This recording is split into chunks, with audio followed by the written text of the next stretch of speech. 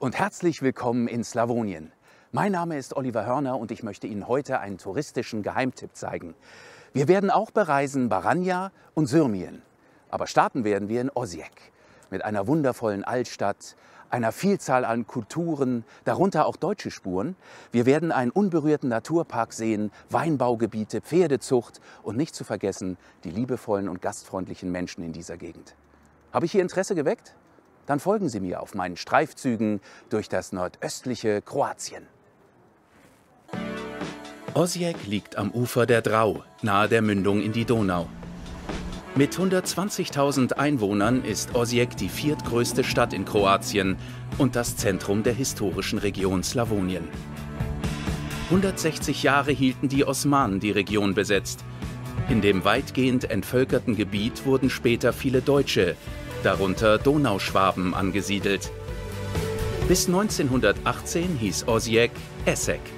Deutsch war Amtssprache. Ehemals militärisch genutzte Gebäude gibt es viele in der Altstadt. In einer früheren Kaserne befindet sich das Staatsarchiv. Hier will ich mehr erfahren über die Anfänge der Stadt. Acht Kilometer Akten lagern allein hier. Weitere 20 noch unerschlossen außerhalb. Archivleiter Draschen Kuschen führt mich in den Kartenraum. Die älteste Teil von Stadt Osijek ist der Festung Essek. Festung ist gebaut von Prinz Eugen von Savoyen am Anfang des 18. Jahrhunderts. Von dieser ganzen Festung haben wir jetzt noch immer dieser Teil. Tvrda, so der kroatische Name, war eine der größten Festungen Mitteleuropas. Sie sollte vor einem möglichen erneuten Angriff der Osmanen schützen. Ich bin verabredet mit Ivor Meyer. Er ist Donauschwabe, spricht sehr gut Deutsch und will mir als Gästeführer die barocke Altstadt zeigen. Der Dreifaltigkeitsplatz wird dominiert von der Pestsäule von 1730. Als Votivsäule errichtet, sollte sie Garant dafür sein, dass die Pest nie wieder nach Osijek zurückkehrt.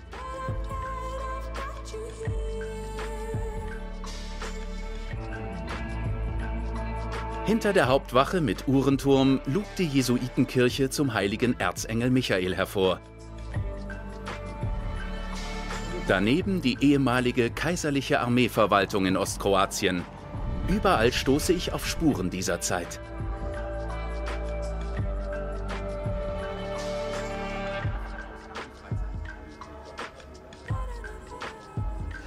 Wie war das denn damals mit den Soldaten hier? Hatten die viel Ausgang? Durften die viel raus? Nee, Freizeit hatten die nicht und nach 6 Uhr abends wurden die Tore geschlossen, Polizeistunde. Aber 25 Gasthäuser in der Osijeka Reeperbahn, die sind natürlich raus, mussten Bußgeld zahlen und der Stadtrat hat dann das Geld gesammelt und die Straßenbeleuchtung damit mit dem Geld finanziert. Das ist ja eine spannende Geschichte. Das heißt, ach, daher kommt auch die Redensart, ich werde euch heimleuchten. Jetzt. Jetzt wissen Sie Bescheid. Das war's.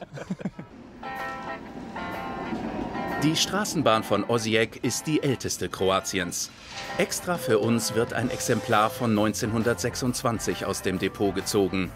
Rot-Weiß, weil Wien das Verkehrsmittel finanzierte.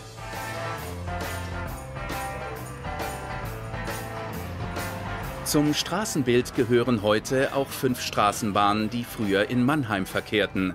Ein Geschenk aus dem Jahr 1995. Ich fahre über die Europaallee. Das war früher eine Prachtstraße mit vielen Jugendstilvillen. Stadtpaläste im Stil der sogenannten Wiener Sezession. Viele Eigentümer trugen deutsche Namen. Heute sind hier vor allem Anwaltskanzleien angesiedelt, wegen der Nähe zum Amtsgericht.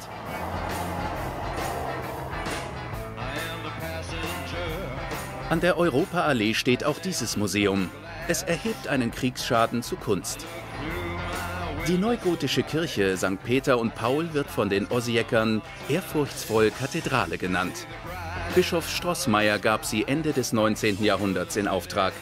Sie ist das Werk des Bonner Baumeisters Franz Langenberg, der vor allem im Rheinland tätig war. Mit 90 Metern hat sie den zweithöchsten Glockenturm des Landes. 3,5 Millionen Ziegelsteine wurden verbaut.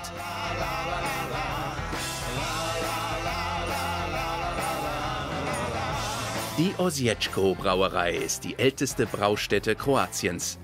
Sie kann auf 350 Jahre Brautradition zurückblicken. Seit 1664 wird das Lagerbier nach deutscher Braukunst hergestellt. Und so heißt die traditionell gebraute Biersorte auch Prvo, das erste. Das malzige, milde und süffige Bier gibt es auch als Schwarzbier.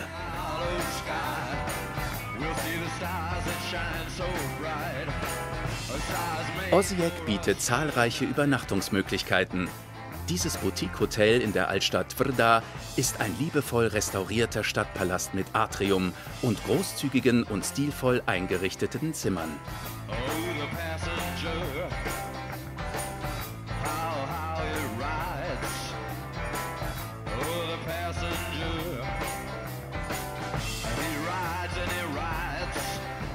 Oben auf dem Dach ein Pool mit herrlichem Rundumblick. Das Hotel Waldinger, ein Jugendstilbau von 1904. Er beherbergt einen Gourmet-Tempel, den renommierte Restaurantführer empfehlen. Namensgeber ist der slawonische Landschaftsmaler Adolf Waldinger. In der Küche laufen die Vorbereitungen auf Hochtouren. Die Köche verarbeiten vor allem Produkte aus der Region, passend zur Jahreszeit. Kürbis im Herbst. Was wird denn jetzt hier vorbereitet für uns? Was, also wir äh, haben jetzt hier drei Speisen. Ja. Äh, eine von dem ist äh, Lammkeule, das zweite ist Entenbrust und äh, das äh, dritte ist äh, Kalbsbacken. Oh, sehr gut. Ist das jetzt Parmesankäse oder was? Nein, äh, sind Nüsse drauf. Ah, Nüsse, okay. Die Backen sind sehr weich und es muss et- etwas so knackiges sein. Bisschen Also, Crunch ja, muss ja, da rein, ja. okay.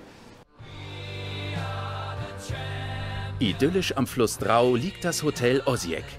Chefkoch ist Tomica Djukic, der für das leibliche Wohl der kroatischen Fußballnationalmannschaft sorgt. Als Hamburger interessiert mich, ob Tomica auch Ivica Ulic kennt, der lange beim HSV gespielt hat. Und dann spielen wir mit Buffet. Wie ist Olic denn privat? Isst er gerne dann Essen? Natürlich, weil sonst würde er ja, nicht alle. sagen. Alle, oder? Ja. ja. ja. Und äh, Olic, ich bin ganz toll. Ganz gut, toll, ja, sehr positiv, ein guter Freund und das alles, was kann ich sagen jetzt. Okay. Und er kommt auch aus Slawonien. Ja, auch Olic, Mandzukic auch, äh, Domagoj Vida auch und Koch auch, Chef ist auch. Ach, der Chef auch? Ja, ja. Guck mal an, alle aus, aus Slawonien. So, und was werden wir denn heute bei dir essen? Das ist äh, Zanderfilet. Okay. Wir nehmen dieses Zanderfilet und lassen in Fett und wir machen das wie Koch in Fett. Ja, da bin ich sehr gespannt, wie dein Essen schmeckt. Ich hoffe, es schmeckt. Ich komme sonst noch mal rein. Okay. Alles klar? Okay, auf geht's. Danke dir. Abends erstrahlt die Fußgängerbrücke über die Drau in bunten Farben.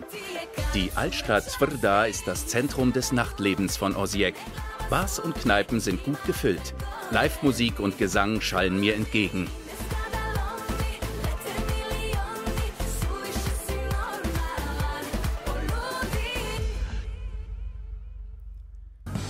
Osijek war einmal das Zentrum der Getreideverarbeitung mit vielen Großbäckereien. Wir befinden uns an der Drau und hier gab es durch die Jahrhunderte, seit dem 18. Jahrhundert bis zum Zweiten Weltkrieg, hunderte Wassermühlen, teilweise sogar 40 bis 60 aneinandergereiht. Heute gibt es nur eine. Die letzte wurde im Zweiten Weltkrieg zerstört und ein Enthusiast hat diese hier als Replika nachgebaut. Sollen wir die besuchen? Gerne. Ja, dann.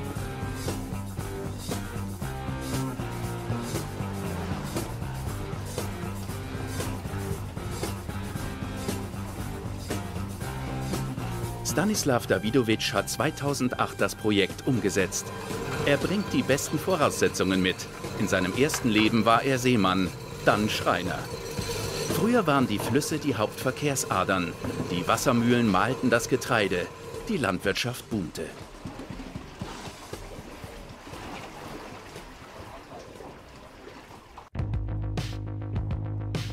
Wasser hat für mich als Hamburger natürlich eine große Anziehungskraft. Dort, wo die Drau in die Donau mündet, gibt es eine einzigartige naturbelassene Region. Auf robusten Holzstegen kann ich zu Fuß den Schilfgürtel erkunden.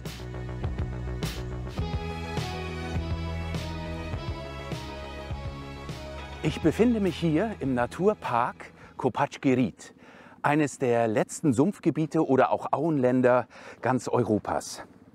Ich werde mich heute mit einem Fernglas bewaffnen und auf Vogeljagd gehen und habe mich mit Rožička verabredet. Sie ist Gästeführerin hier. Hallo Rožička. Hallo, Grüße Oliver. dich. Hallo, grüße Hallo. dich. Ist das unser Boot? Ja, es ist unser Boot und unser Kollege Malte, der will Heute uns Boot. durch Sumpfgebiet führen. Ja, bitteschön. Ja.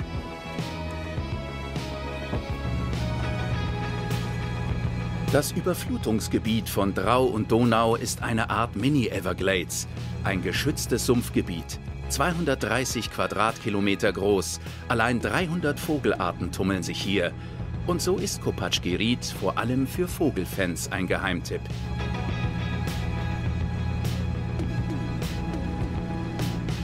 Die Kolonie von Kormoranen besteht aus rund 1000 Paaren. Das Naturschutzgebiet verändert sein Aussehen je nach Jahreszeit. Mitte September ist es noch relativ trocken. Zweimal im Jahr jedoch werden große Teile vom Hochwasser der Donau überflutet. Für Kopatschkerit ist das auch sehr interessant, eigentlich sehr spezifisch, da hier der äh, Wasserniveau variiert sehr und kann bis zu 8 Meter äh, variieren. Wenn ähm, das Wasserniveau in äh, diesen Flüssen steigt, kommt das Wasser durch die Kanäle in Kopatschkerit. Also das Wasser kommt quasi aus der Donau. Äh, hier Ja. diese ganzen Wasserarme werden gespeist von der Donau. Ja, und zwar ach, ungefähr 80 Prozent von diesem Wasser kommt äh, aus Donau und 20 Prozent aus dem Fluss äh, Drau. Weil Kopatschkerit befindet sich ähm, genau im Dreieck. In diesem Delta, äh, ja. ja Okay. Delta.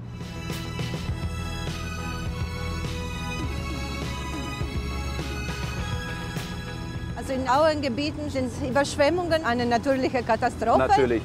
Bei uns sind, sind eigentlich unser Phänomen hier.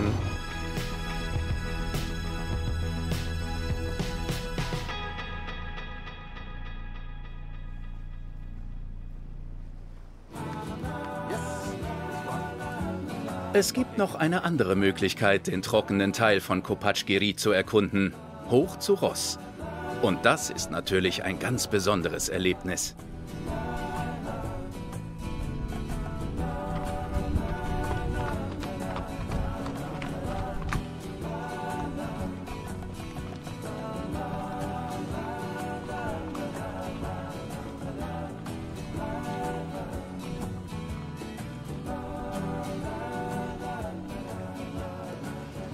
Ende des Ausritts ein erfrischendes Bad für die Pferde als Belohnung.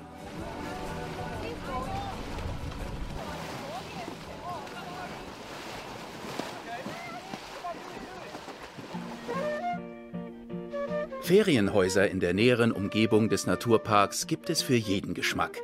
Typ rustikal, redgedeckt mit 100 Jahre alten Eichenstämmen aus Slawonien.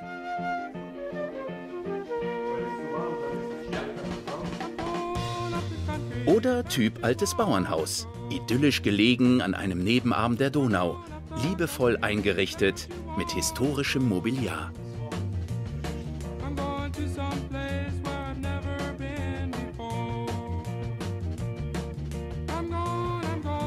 Oder Typ modernes Ferienhaus mit jeglichem Komfort, inklusive Pool und Jacuzzi.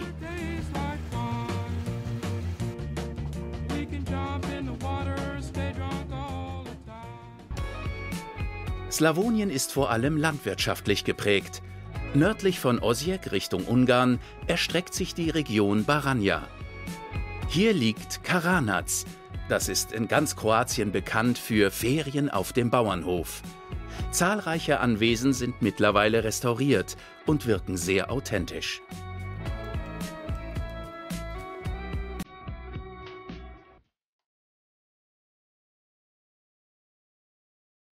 Dennis und Gordona Sklepic vermieten Apartments und stellen zahlreiche Produkte selbst her.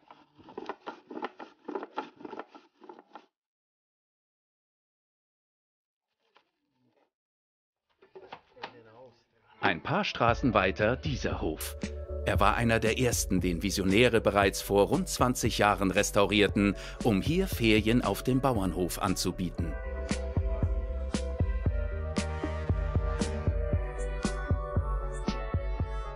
Das hier ist der alte Stall, liebevoll restauriert und heute ein Restaurant.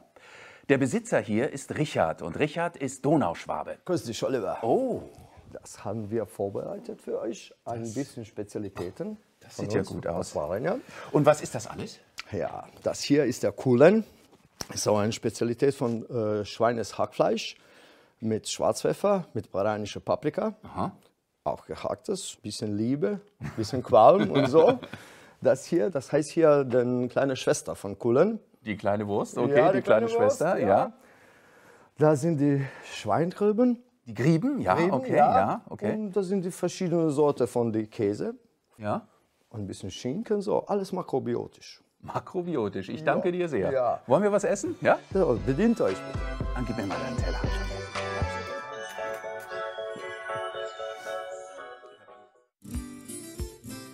In der historischen Außenküche des Gasthofs Darotz, übersetzt zum Hahn, werden Spezialitäten aus dem 14. Jahrhundert nachgekocht, wie Pörkölt, ein ungarischer Gulasch mit gedünstetem Hahn. Oder Hecht im Mundier, also im Militärsmantel. Der Name rührt daher, weil der Fisch zum Schluss mit Zeitungspapier umwickelt wird, damit die Haut daran hängen bleibt.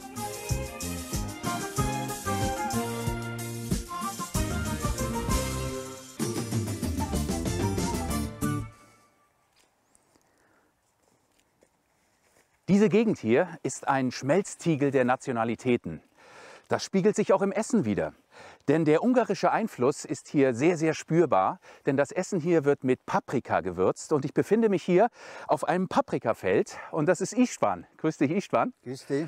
Ähm, und er baut hier die Paprika an. Istvan, ähm, erzähl mir mal was. Was für Sorten hast du denn hier auf deinem Feld? Das ist eine, eine, äh, eine sehr äh, scharfe Sorte Paprika.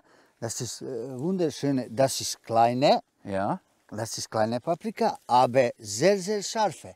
Das ist mit ungarischen Nationalessen, ist äh, ganz normales ungarische Nationalessen immer scharf. immer. Bisschen scharf oder sehr scharf, aber. Also du hast scharf. hier verschiedene. Du hast sehr scharfe, du hast weniger scharfe. Ja, ich habe, äh, das ist äh, drei, vier Sorten. Ja. Und das ist alles ge gemischt machen.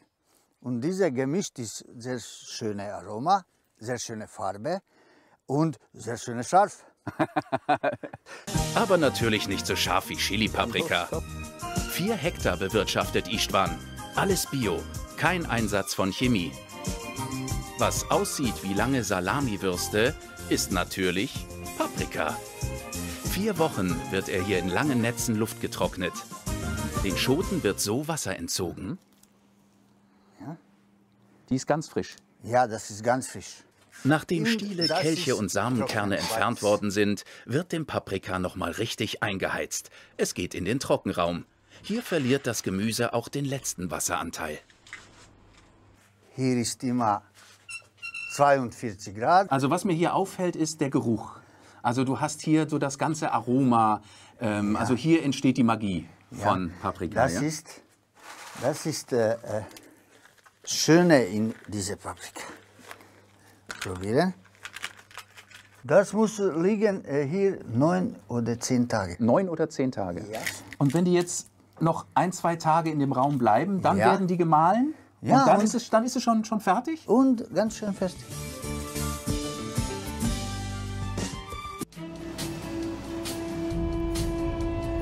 Für knapp 140 Kilometer ist die Donau Grenzfluss zu Serbien.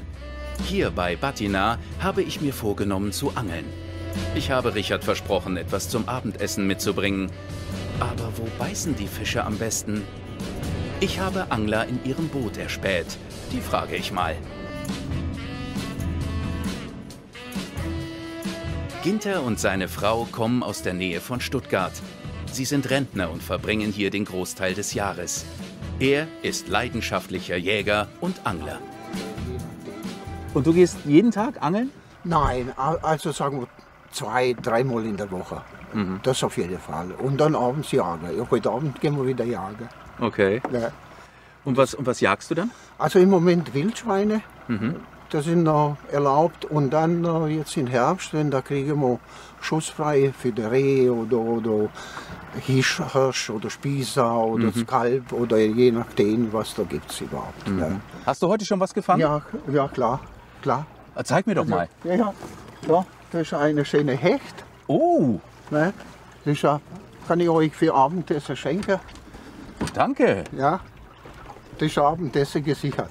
Da ist das Abendessen gesichert. Ich danke dir. Das auf jeden Fall. Das ist ja toll. Ja. Okay. Dann mach's gut. Ciao. Ciao.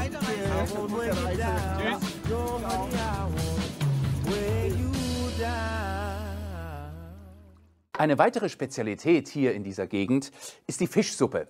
Heute haben wir schon einen Fisch gefangen und jetzt werde ich mit Richard diesen Fisch zubereiten. Erzähl mir doch mal, was kommt denn alles in die Suppe rein?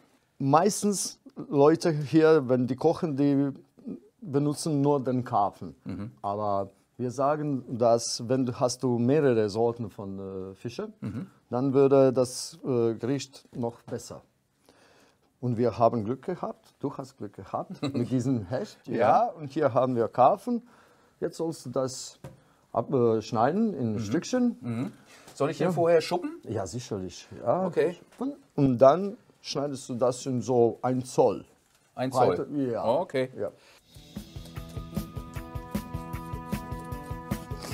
Jetzt noch Zwiebeln klein schneiden und den Fisch ausnehmen.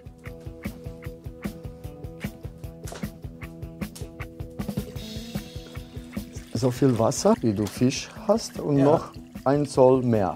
Okay.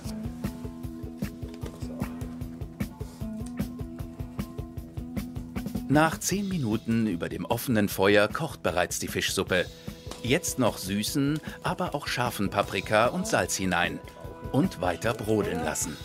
Dann trinken wir einen Wein in der Zeit. Ja, sicherlich. Na dann. Komm.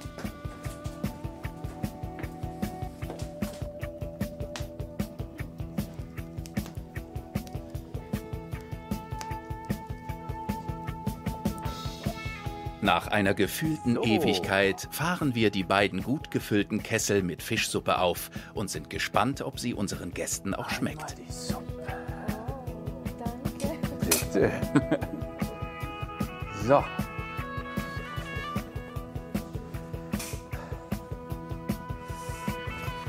So, Richard, setzt du dich zu mir? Das ist gut.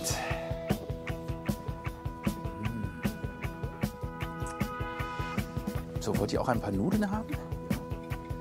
Ihr ruhig Nudeln? Erst das ist ja so. Erst Nudeln reintun. Und dann kommt Dann- das oben drauf. Ja. Okay.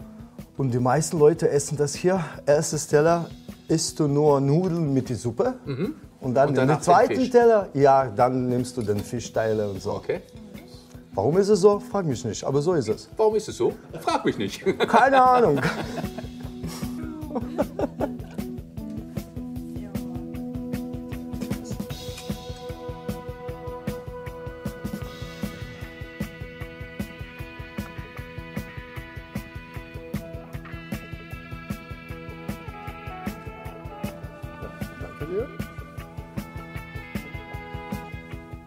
Sehr, sehr lecker. Ist genau richtig scharf.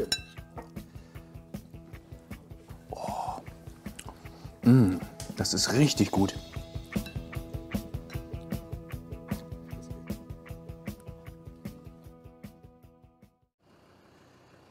Ich habe etwas ganz Besonderes vor. Richard hat mich eingeladen, mit seinem Jeep ein bisschen die Gegend zu erkunden.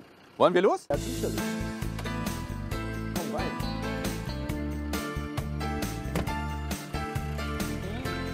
Den Asphalt lassen wir schnell hinter uns und ab ins Gelände. Auf unbefestigten Wegen arbeiten wir uns durchs Unterholz.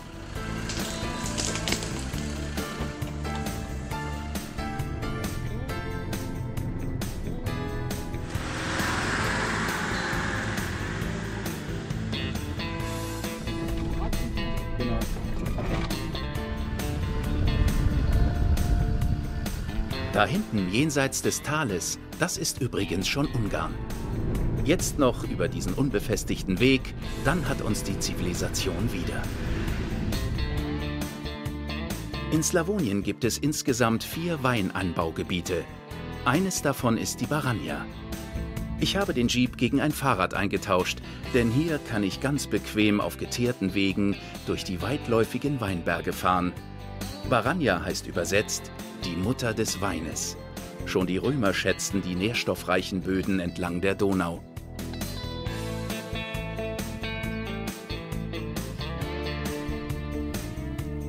Oben auf dem Barnovo Brdo Hügel lege ich einen Stopp ein.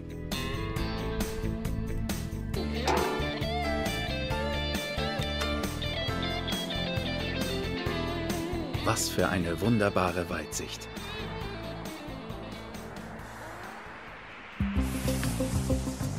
Wenn man in der Region Baranja ist, ist eine Weinprobe ein Muss. Ich bin eingeladen worden von Lajos Kola in seinen wunderbaren Weinkeller. Lajos, ich freue mich sehr, dass du mich eingeladen hast. Was für Weine erwarten mich denn heute? Das ist eine grüne Silvaner. Das ist eine sehr bekannte Sorte. Grüne Silvaner haben wir schon gehört. Ne? Ja, habe ich Bestimmt, gehört, ne? Und das ist ein perfekter Weißwein. Äh, natürlich bei uns sind die Weine sehr relativ stark. Äh, die, äh, dies, diese Silvaner ist 14,5 Prozent Alkohol. Ne? Das ist bei uns normal, weil das Okay. ist ein sehr reich äh, Boden und haben wir viel Sonnenschein. Deswegen können wir sehr schöne Wein haben.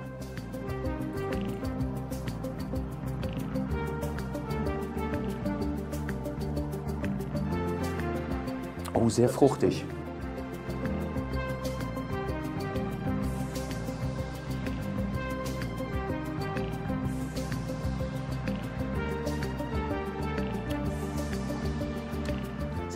Ich darf mir mal ein Stück Käse nehmen? Ja, deswegen ist das da. Das ist gut. Das, Das- neutralisiert den Geschmack. Ne? Zwischen, zwischen zwei Weinen. Einem halbtrockenen Grauburgunder folgt ein Rosé. letzte, letzte zehn Jahre Rosé ist ein, äh, ein modernes Wein. Und das, natürlich, äh, Rosé ist immer äh, aus roter Sorte, eine oder mehrere, egal.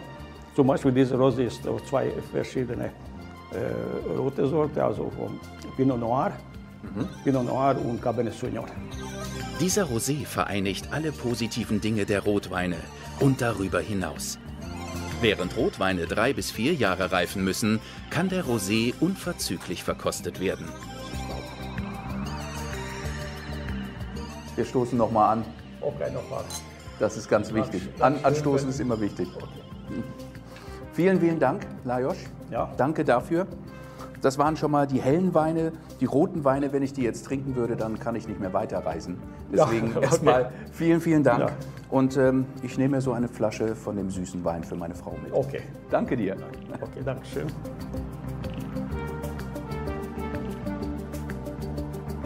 Ein Weinkeller ganz besonderer Art ist dieser hier.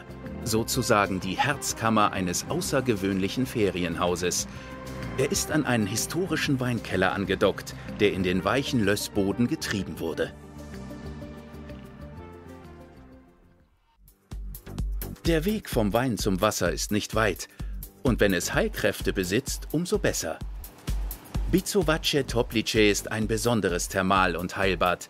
Mit 96 Grad Celsius aus 2000 Meter Tiefe ist das Heilwasser die heißeste Sohle Europas. Es ist außerordentlich reich an Mineralstoffen, enthält fast dreimal so viel Salz wie Meerwasser, dazu Eisen und Jod. Patienten können wählen zwischen ambulanter und stationärer Behandlung. Das Heilwasser wird für heiße Bäder, zur Unterwassermassage und Inhalation genutzt. Tja, wir sind hier in der Reha-Klinik Bisovačke Toplice, weil wie im richtigen Leben hat sich unser Mann vom Ton Christian einen Nerv eingeklemmt. Aber gut, dass wir hier sind, denn hier wird ihm geholfen. Komm, wir gehen auf Station.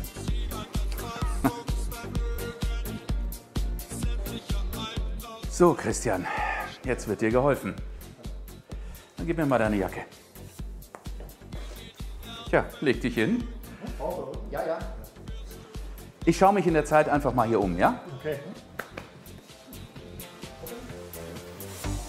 Und während ein Physiotherapeut meinem Kollegen leichte Stromstöße zur Schmerzlinderung verabreicht, werden hier in der Klinik auch rheumabedingte Arthritis sowie Haut- und psychosomatische Erkrankungen behandelt. Diese Lauflernmaschine wird bei der neurologischen und orthopädischen Rehabilitation eingesetzt. Sie wirkt unterstützend bei Patienten, deren Bewegungsapparat beeinträchtigt ist.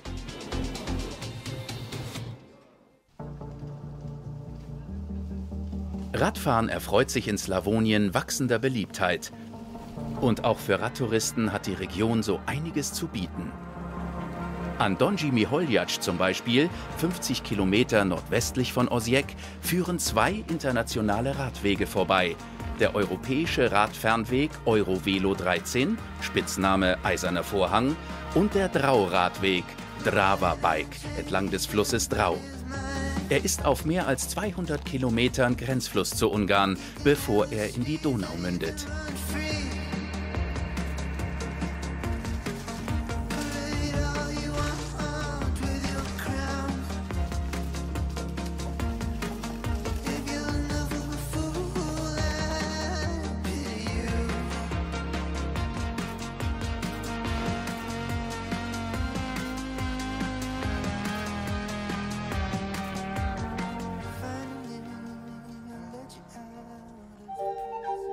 In Donji Miholjac ist Schloss Brandau-Meilat das Vorzeigeobjekt.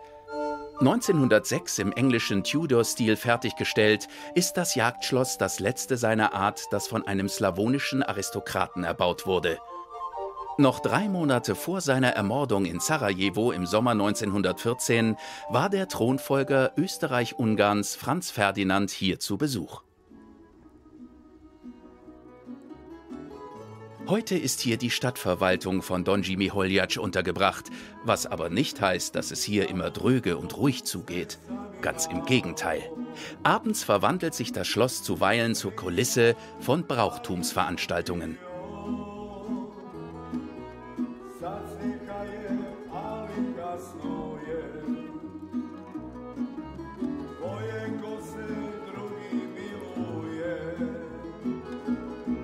Das Tamburiza-Ensemble Panona hat sich für uns in Schale geworfen und spielt das Lied Der letzte Wunsch. Obwohl mir so gar nicht danach ist, jetzt schon zu gehen.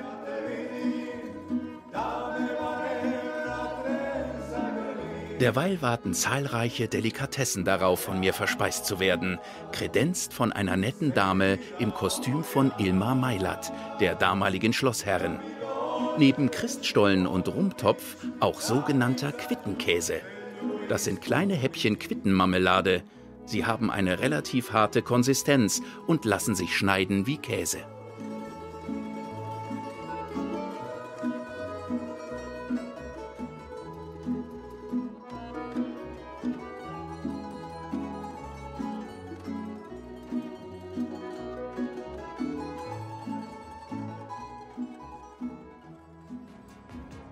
Im benachbarten Restaurant Mailat muss ich erst einmal etwas Herzhaftes zu mir nehmen.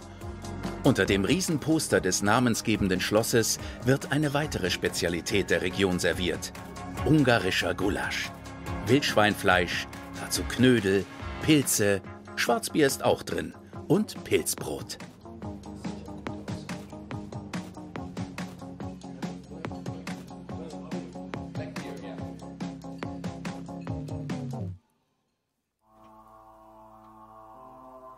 Am nächsten Morgen möchte ich mir das Gebiet um Erdut an der Donau anschauen. Erste Station ist Alimasch mit einem futuristisch anmutenden Bauwerk in der Form eines Schwanes.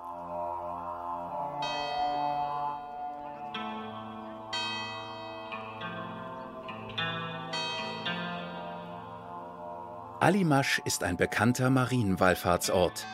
100.000 Pilger und Touristen finden jährlich ihren Weg hierher. Die Kirche ist ein Neubau aus dem Jahre 2003. Gut zehn Jahre vorher hatten serbische Truppen das alte Gotteshaus im Kroatienkrieg völlig zerstört. Lediglich die Marienstatue blieb, wenn auch beschädigt, erhalten. Ein kleines Wunder.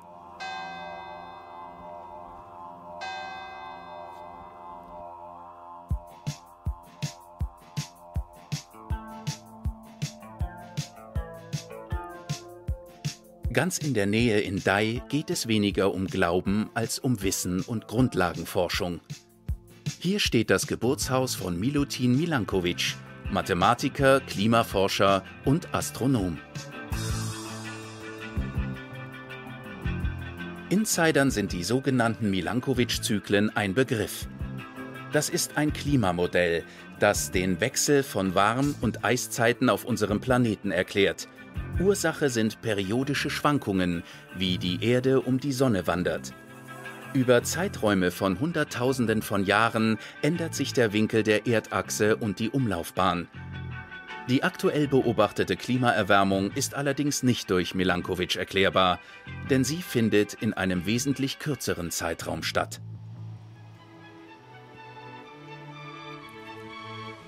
Dieser Blick ist atemberaubend. Die Kombination Wald und Wasser kenne ich ja vom Naturpark Kopatschkirit. Hier liegt mir eine riesige Halbinsel zu Füßen, die die Donau geschaffen hat. Ich bin in Erdut, einem weiteren Weinanbaugebiet in Slawonien. Das Weingut Bricica thront 150 Meter über der Donauschleife.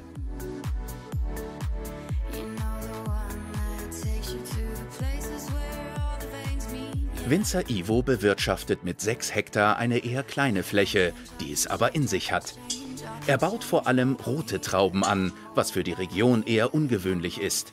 Cabernet Sauvignon, Merlot, Vranatz, dieser steht für eine alteingesessene, hochwertige Sorte aus Südosteuropa.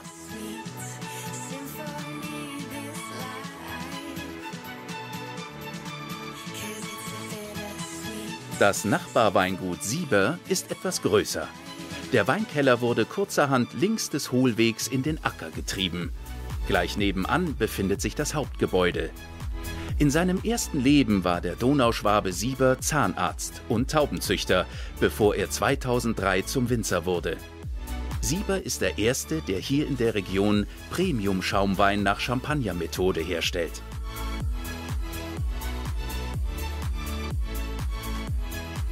Das Weingut Erdut ist mit 500 Hektar das größte zusammenhängende Weingut in Kroatien.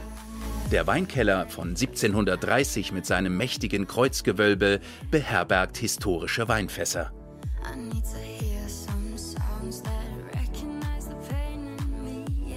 Nicht zu übersehen ist das größte noch genutzte Fass aus slavonischer Eiche. Darauf Schnitzereien mit biblischen Motiven, darin 75.000 Liter Welschriesling. Na dann, Prost! Ich schlendere durch den Weinberg und entdecke diesen Turm. 70 Meter über der Donau. Er gehört zu einer Burgruine aus dem 14. Jahrhundert.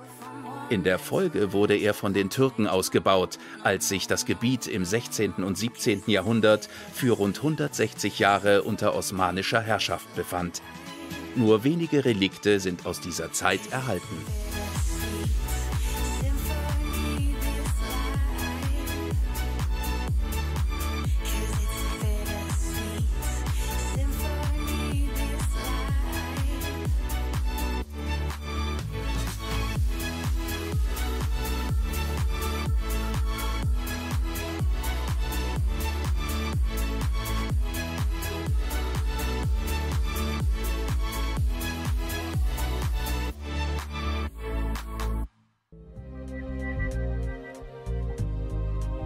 In der Bischofsstadt Giacovo stoße ich auf historische Hinterlassenschaften. Mir fällt sofort die katholische Allerheiligenkirche ins Auge, die mit ihrer Kuppel doch recht seltsam anmutet. Kein Wunder, während der türkischen Besatzung war dies die Ibrahim Pascha Moschee, das einzige Beispiel von komplett erhaltener osmanischer Architektur in Slawonien.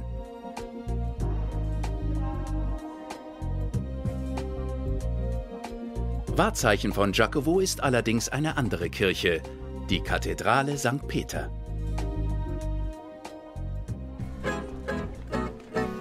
Richtig voll wird es einmal im Jahr im Sommer, wenn hier im Stadtzentrum ein überregionales Folklore-Treffen stattfindet mit rund 100.000 Besuchern. Den Bau der neoromanischen Kirche gab 1866 Josip Strossmayer in Auftrag, der hier 55 Jahre als Bischof tätig war.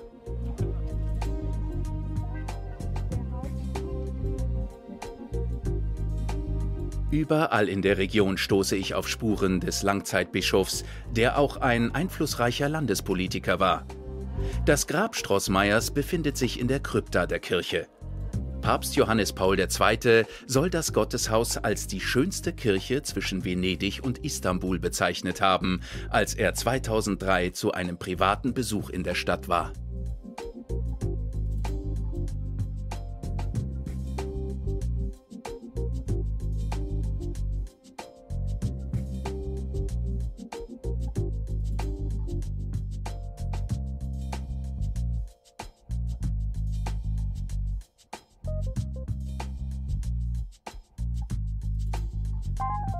Gleich nebenan der bischöfliche Weinkeller, 280 Jahre alt.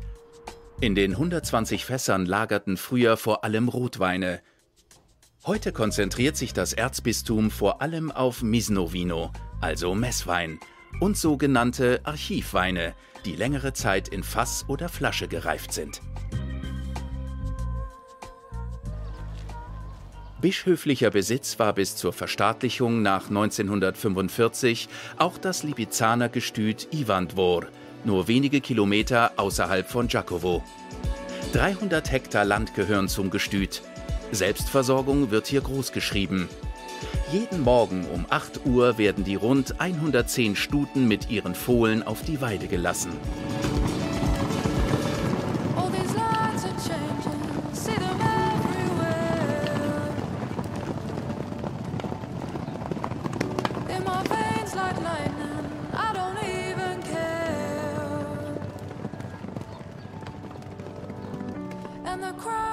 Heavy, I don't wanna move. All these colors in me, but all I see is you. Übrigens, Libizzaner kommen wie alle Schimmel schwarz, braun oder auch grau auf die Welt.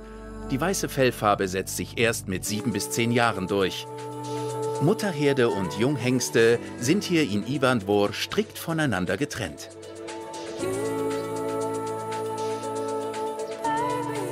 Diese Herde junger Hengste hier wird in drei bis vier Jahren erwachsen sein. Und dann kommen sie in den anderen Standort dieses Gestütes, unten in der Stadt. Und das schauen wir uns jetzt an.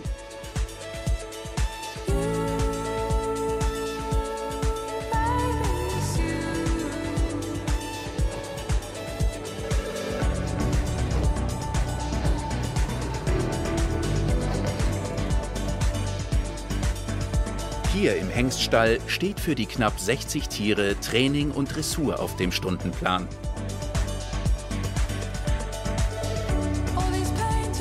Ivna ist Volontärin und verantwortlich für Chumi, so sein Spitzname. Sein richtiger Name ist etwas sperrig und beginnt mit einer fortlaufenden Nummer und enthält die Namen seiner Eltern. Auf dem Programm stehen heute hauptsächlich Galoppwechsel, aber auch Pirouetten.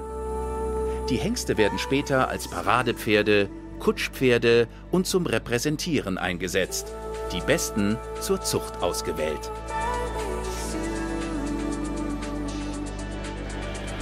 Ich befinde mich hier in der größten geschlossenen Reithalle Kroatiens.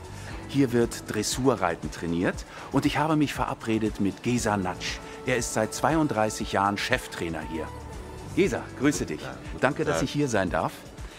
Äh, Gesa, worauf legst du besonders Wert, wenn du hier die Jugend trainierst? Wir äh, arbeiten äh, mit Lipizzanerpferden und äh, äh, wir müssen Dressur machen, Vorführungen hier, Quadrillen machen wir äh, mit Mu Musik und machen auch Pas de deux mit zwei Pferden. Das ist was für, für die Touristen.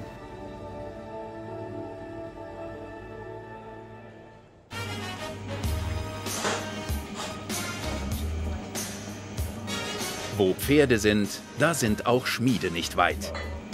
Wer Franjo Vinkovic in seiner Werkstatt besucht, der kommt sich vor wie in einer Zeitmaschine, fühlt sich versetzt in längst vergangene Zeiten. Seine Maschinen stammen teilweise aus den 1920ern, vieles davon Marke Eigenbau.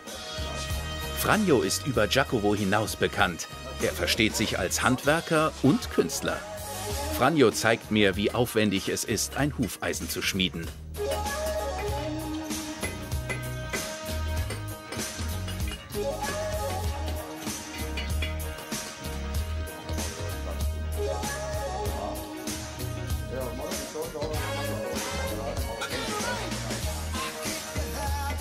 Erfahrung, die richtige Hitze, aber auch eine Portion Coolness sind die Zutaten zum Gelingen des Projekts.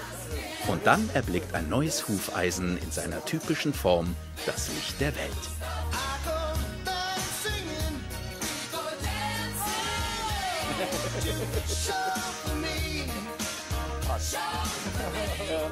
Du hattest auch eine Geschichte zum Glück. Uh, you have a story for luck.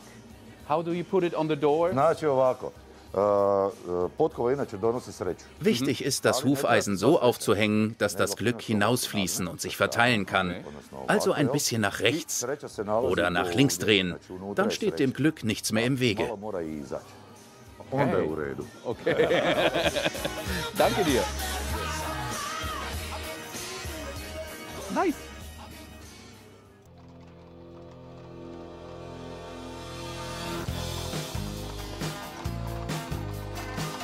Glücklich der, der nicht auf Schusters Rappen unterwegs ist, sondern zu Pferd. Die nächste Ortschaft ist manchmal weit entfernt. Eine Fiakerfahrt zu unternehmen oder selbst zu reiten, ist da schon viel angenehmer. Damals und auch heute noch. Auch hier im südlichen Teil Slawoniens an der Grenze zu Bosnien. Ich bin hier in Babina Greda, einer der größten Gemeinden Kroatiens. Der Haupterwerb hier liegt in der Landwirtschaft. Das hier ist ein typisch slawonischer Hof. Die farbigen Ziegelsteine verleihen dem Hof eine individuelle Note. Im Holzschuppen wird Mais getrocknet. Hühner gackern, im hinteren Teil der Schweinestall. Die bäuerlichen Familienbetriebe stellen Wurst meist noch selbst her, wie zum Beispiel den Kuhlen. Nach der Hausschlachtung im Herbst wird er traditionell in Darmblasen gefüllt und anschließend mehrere Monate luftgetrocknet.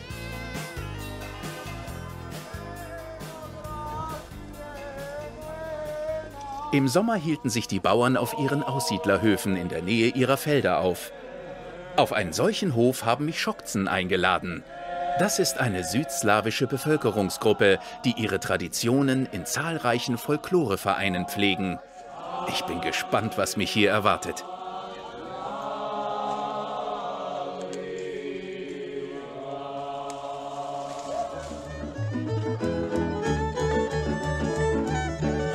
Musik mit Tanz spielt bei den Schokzen eine große Rolle.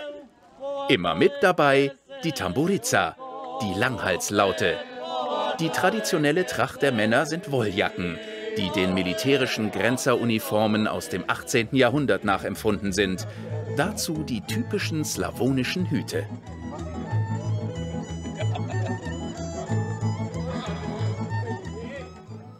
Im Backhaus bereiten die Frauen verschiedene Teigwaren vor. Ich lasse mich um den Finger wickeln und mich direkt einspannen. Soll, soll ich mal? Okay. So? Ja. So ist gut? Nicht gut. okay. Übung macht den Meister. Ich versuche es einfach noch einmal. Super. Super. Na bitte.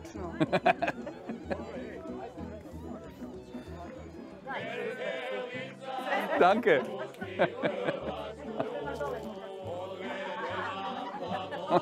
mm, sehr gut. Sehr, sehr gut. Lecker, lecker.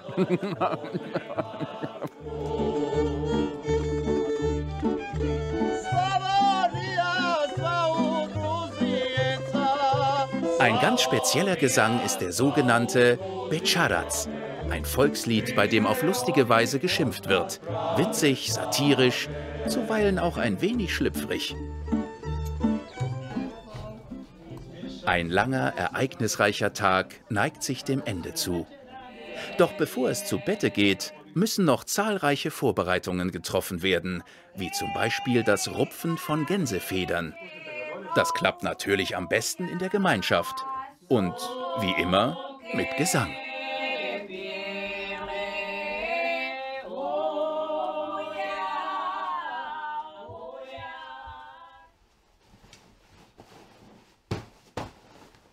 Dann noch das Kopfkissen aufschütteln und fertig.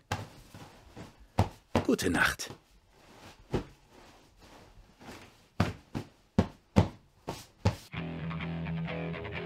Slawonien ist das ideale Ziel für Jäger und Angler. Der Borowik-See zählt zu den größten Stauseen Kroatiens. Er ist bekannt vor allem wegen seiner Riesenkarpfen.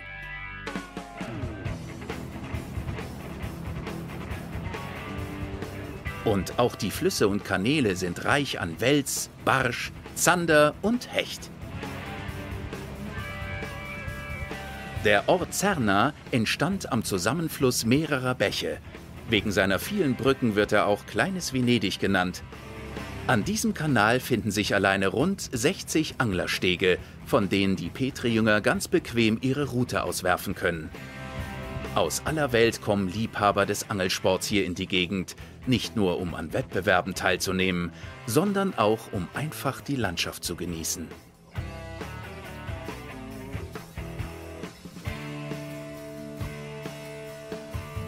Hobby- und Profijäger können in ausgedehnten Jagdrevieren auf die Pirsch gehen. Jagd hat hier eine lange Tradition. Wer idyllisch in einem zünftigen Jagdhaus übernachten will, der kann das in Zerna ebenfalls tun und wird darüber hinaus noch mit Wildspezialitäten verwöhnt.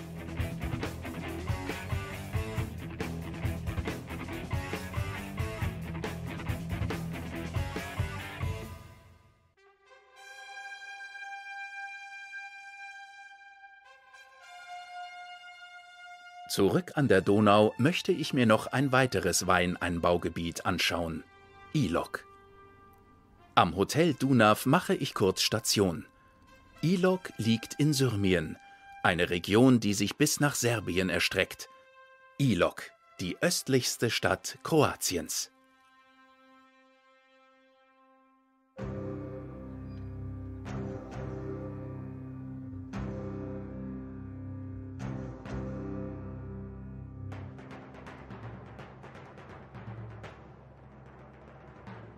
Auf einem Hügel oberhalb der Donau steht ein Teil der mittelalterlichen Festung. Anfang des 16. Jahrhunderts kam die Stadt unter osmanische Besatzung.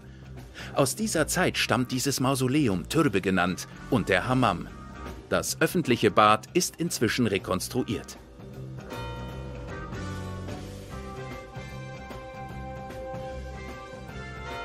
Wahrzeichen und weithin sichtbar die Kirche des heiligen Johannes von Kapistran mit dem Kloster. Kapistran war Mitte des 15. Jahrhunderts ein europaweit bekannter Franziskaner, Wanderprediger und Inquisitor. Auf dem Burgberg steht auch das von der italienischen Adelsfamilie Odescalchi im Barockstil rekonstruierte Schloss. Als Verwandte des damaligen Papstes fanden sie ihren Weg nach Ilok, nach Ende der türkischen Besatzung. Unmittelbar neben dem Schloss der alte Weinkeller, Stari Podrum. Er stammt aus dem Jahre 1450 und ist damit der älteste Weinkeller Kroatiens. Hier lagern ausschließlich Weißweine.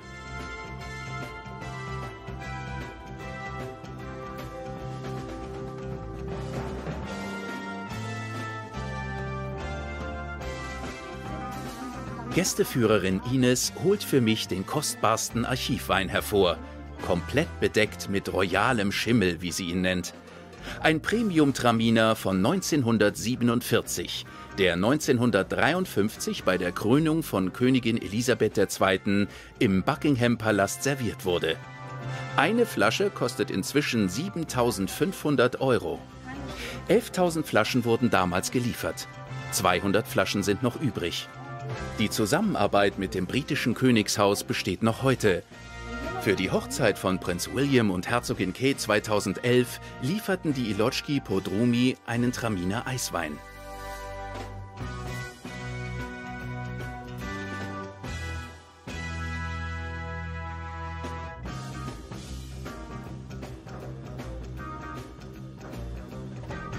Vier Kilometer südlich von Ilok liegt das Landgut Principovac, die ehemalige Sommerresidenz der Odescalchi.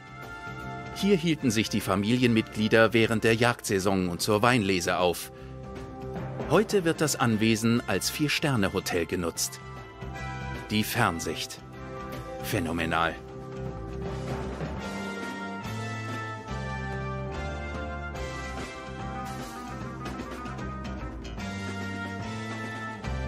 Auf dem hauseigenen Golfplatz an den sanften Hängen des Fruschka Gora kann ich ein paar Bälle schlagen.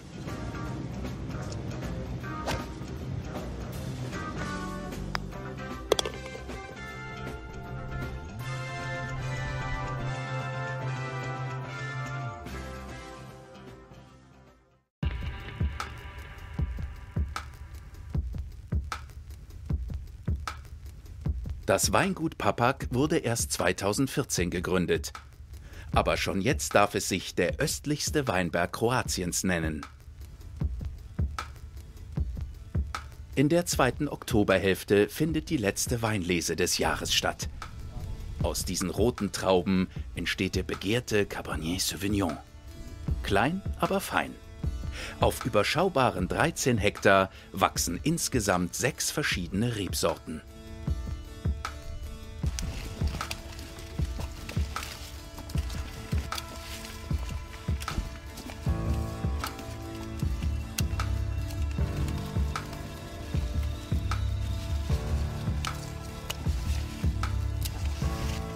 Mladen Papak war lange Kellermeister eines großen Weingutes, bevor er sich selbstständig machte.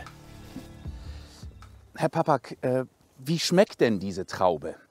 Ähm, wollen Sie äh, probieren? Ja, gerne. Ja, so. Darf ich? Ja.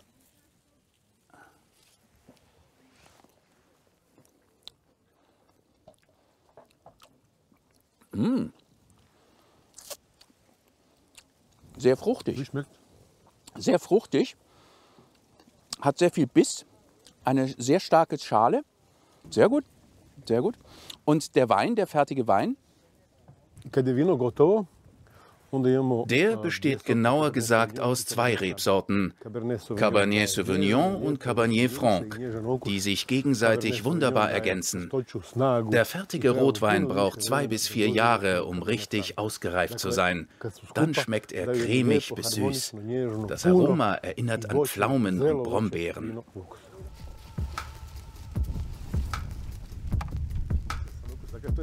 Heute Abend wird der letzte prall gefüllte Anhänger das Weingut erreichen. Die roten Trauben werden dann direkt verarbeitet. Und dann kehrt wieder etwas Ruhe ein. Tja, jetzt heißt es Abschied nehmen. Auf meiner Reise durfte ich wunderbare Dinge erleben. Ich war im Naturpark Kopatschgerit. Ich habe gesehen, wie der Wein angebaut wurde. Ich durfte ihn trinken und habe köstliches Essen genossen. Aber das Allerwichtigste, ich habe gastfreundliche und herzliche Menschen hier erlebt.